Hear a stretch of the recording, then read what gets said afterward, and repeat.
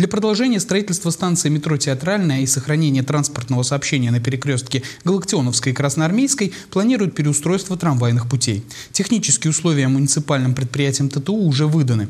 Вопрос на стадии согласования. Материалы заказаны. Сроки поставки необходимо увязать с проектом производства работ, поясняют в ГКУ Самарской области Управление капитального строительства. График предстоящих работ станет известен в ближайшее время. В любом случае рельсы и шпалы планируют переместить с середины проезжей части ближе к тротуару.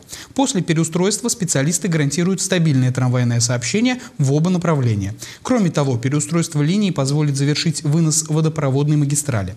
Как пояснил первый вице-мэр, вся работа по переустройству трамвайных путей займет около 14 дней.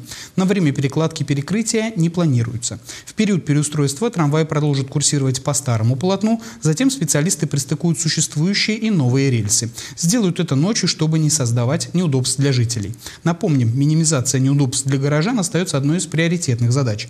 Однако на следующем этапе в районе будущего станционного комплекса все-таки потребуется временное ограничение движения на перекрестке Галактионовской и Красноармейской.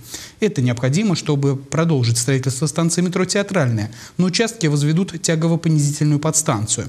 Пока намечены только предварительные сроки. При этом планируется, что и во время строительства подстанции трамваи продолжат курсировать уже по новой линии.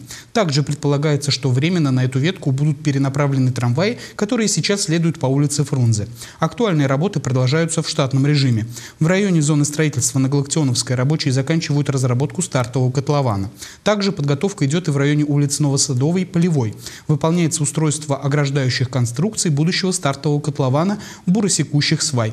После окончания строительства первой ветки Самарского метро и ввода в эксплуатацию театральной подземка свяжет удаленные районы Самары с исторической частью города. Добраться можно будет всего за 20-25 минут. Интервал движения поездов метро может сократиться до 7-8 минут. Мы все очень ждем нового огромного важного события для жителей – открытие нашей станции театральная. Прекрасное название, потому что это центр города, вокруг много театров, и, конечно, на метро с любой абсолютно точки нашего города можно будет добраться именно в культурный центр. Это наши прекрасные праздники, это наши великолепные театры, которые мы очень любим, это выставки, да даже набережная с театральной площади от театров спуститься и прогуляться – это здорово.